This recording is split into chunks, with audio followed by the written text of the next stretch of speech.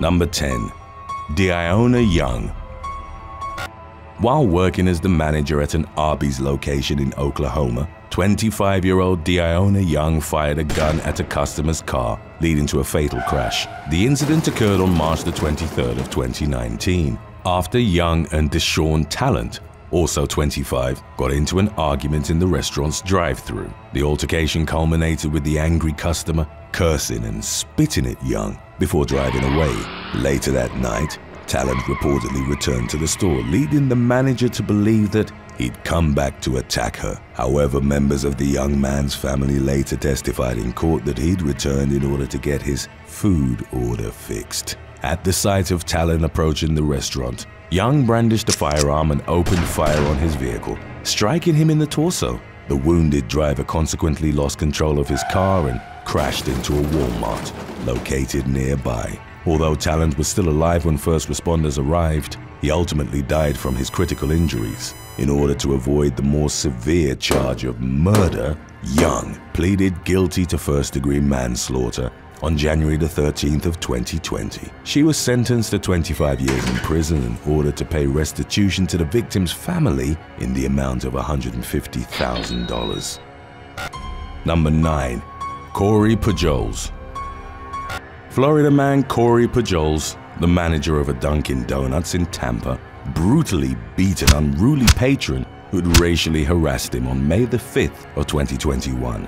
The altercation was initiated when Vonell Cook, a regular customer who was described as regularly troublesome and abusive, began complaining about the service and began hurling racial epithets at 27-year-old Pujols. Cook was subsequently warned not to repeat the offensive insult, but refused to comply and proceeded to use the same pejorative term two more times. At that point, Pujols reportedly lost his temper at the senior citizen and launched a physical attack on him. Cook collapsed and hit his head on the floor after the irate manager rained blows down upon him. When emergency responders arrived at the scene, they rushed the injured man to the hospital. There, it was determined that he'd sustained a skull fracture and a brain contusion, and he was ultimately pronounced dead three days later. Although Pujols was initially charged with aggravated manslaughter in connection to his deadly outburst, he later accepted a plea bargain for felony battery and was thus sentenced to just two years of house arrest. Number 8. Mary Dalton on July the 29th of 2015, Mary Dalton, the night manager of a Philadelphia KFC and Taco Bell restaurant known as Ken Taco Bell, orchestrated a robbery at her own store. In a fake police report filed in the aftermath of her fraud, the 32-year-old woman claimed that she and an 18-year-old employee had been robbed at gunpoint, resulting in the alleged thieves getting away with $2,800.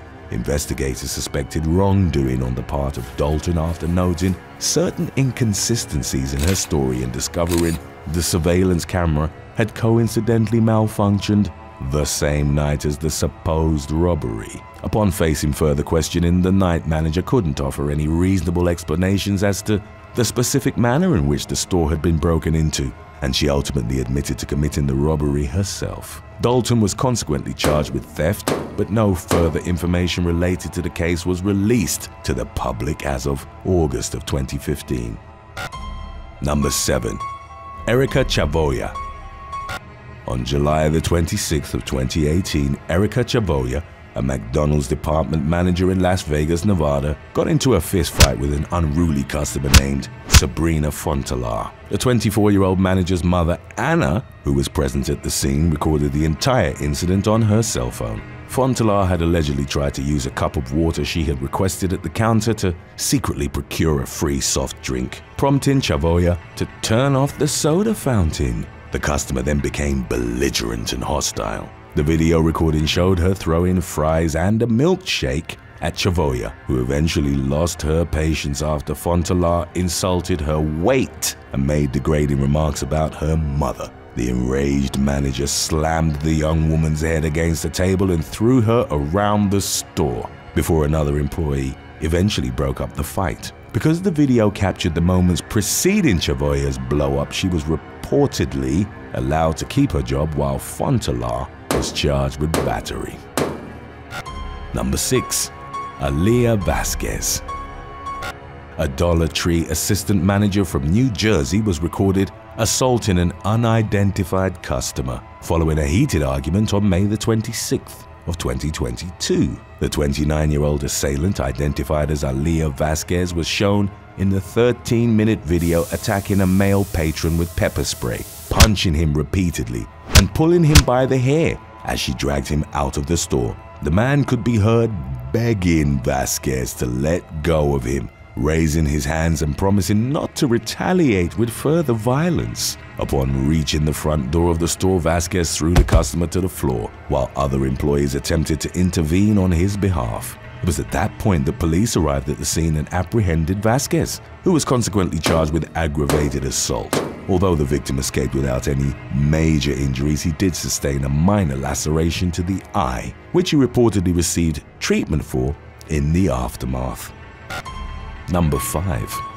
Darnell Penn on October the 22nd of 2019, former Five Guys manager Darnell Penn was arrested for skipping bail on assault and kidnapping charges filed in Montgomery County, Pennsylvania. Penn had been on the run since skipping his scheduled court appearance earlier that month. He was reportedly accused of coercing young employees at the restaurant he managed into performing lewd acts. In one such encounter, he'd allegedly locked one of his subordinates in his car in the parking lot outside threatening to fire her if she didn't comply. Penn had an accusation from a worker at a Philadelphia McDonald's he'd previously worked at, who claimed he'd tried to coax her into sending him inappropriate pictures back in 2019. He was eventually tracked down to a hideout in Kennesaw, Georgia, where a brief standoff ensued. Although Penn initially refused to open the door or let any of the three people residing in the apartment leave,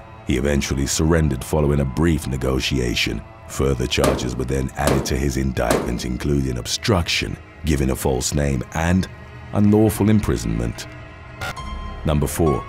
Danisha Renee Jackson a 20-year-old employee at a Dollar General store in Texas was killed during a robbery gone awry on December the 17th of 2017. The victim, identified as Dequan Dante Anderson, had recently moved from Louisiana to the Houston area, where he got the position of shift leader at the store where the incident ultimately occurred. On the day of Anderson's death, the store's assistant manager, named as Danisha Renee Jackson, aged 28, had tasked him with depositing $2,800 in the bank, a task usually performed by another employee. Jackson allegedly plotted to have another woman Kyla Alexine Nelson carry out a robbery of her own store's money. Nelson was provided with a physical description and photographs of the bag in which the money would be transported. However, when Anderson refused to surrender the bag to her, she shot him four times, fatally injuring him before fleeing the scene.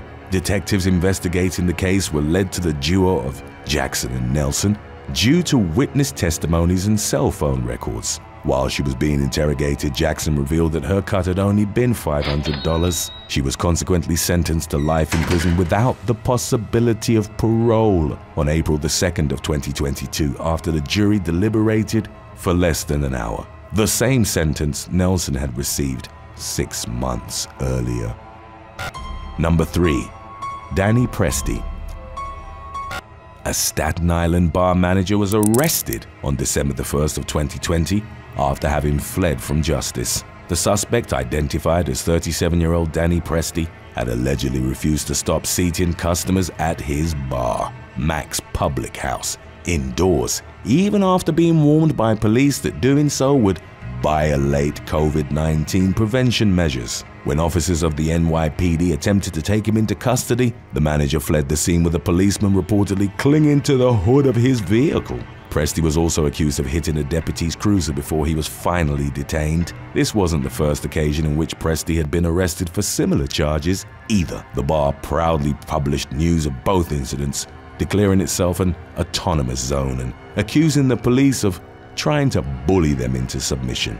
The owners lost their liquor license after making a challenging Facebook post in which they stated in part, We will not back down.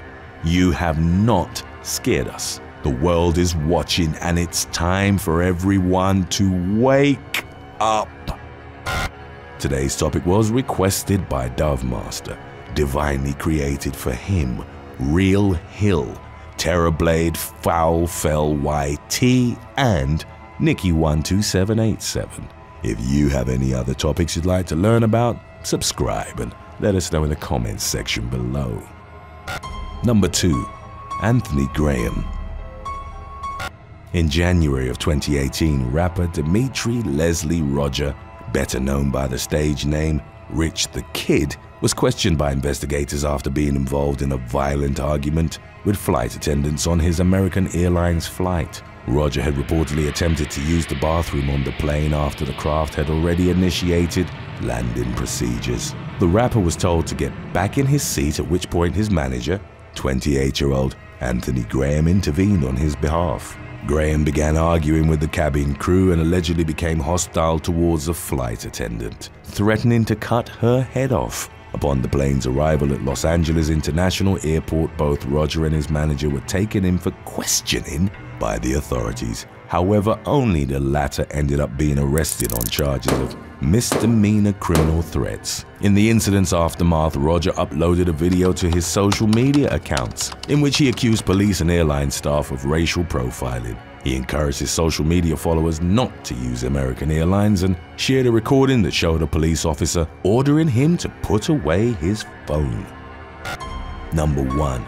Danya Shea Glennis Svoboda and Jocelyn Montrenice Bryant. Florida wedding caterer Jocelyn Montrenice Bryant and bride Danya Shea Glennis Svoboda were arrested on February the 19th of 2022 for allegedly conspiring to serve guests food laced with illegal substances. According to attendants, the two women had injected the drugs into both the lasagna and dessert dishes, including pudding shots and chocolate-covered strawberries. Police were called to the scene after multiple guests reportedly fell ill, with one woman suffering a panic attack and several more being taken to the hospital with varying symptoms. Miranda Cady, one of the attendants, told detectives that she had confronted Svoboda after all of the partygoers reacted adversely to the food at the same time. She accused the bride of having expressed excitement regarding the seemingly unfavorable situation. Cady reported feeling like her heart was going to explode and even texted herself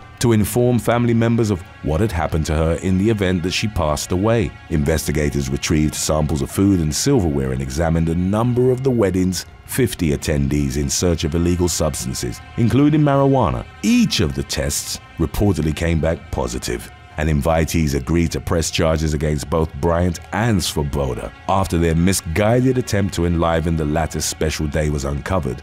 The two suspects were arrested on counts of misdemeanor culpable negligence as well as food tampering. Thanks for watching. Would you rather trade places with your manager or get one year of paid leave? Let us know in the comments section below.